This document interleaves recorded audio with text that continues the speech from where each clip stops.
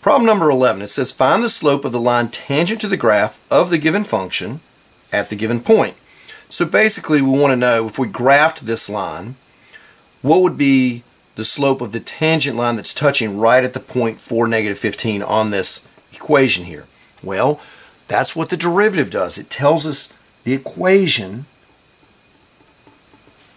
of where it's a magical equation that tells us the slope at any particular point on this negative x squared plus 1. And this is the point we want to do. So all we're going to do is we're going to take the derivative. So I bring the 2 down in front, so it becomes negative 2x. The x drops power, so it goes from x squared to x to the first, plus 1, which again, that's just going to disappear. So here, negative 2x will tell us the slope at any particular point on this line right here. Again, it's really the slope of the tangent line at any point on this graph.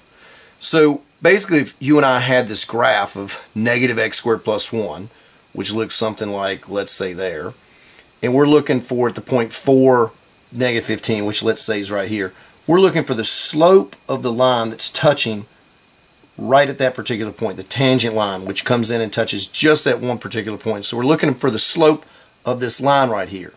Well, this equation tells us the slope of that tangent line at any point on there.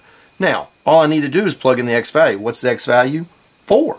So if I plug 4 into this equation, so if I do the derivative when x is 4, that's negative 2 times 4, negative 8. That would be the slope right here. Look at it. See how it's very steep.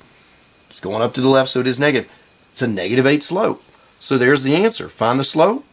Boom, negative 8. Derivative stuff, magical equation as I like to say.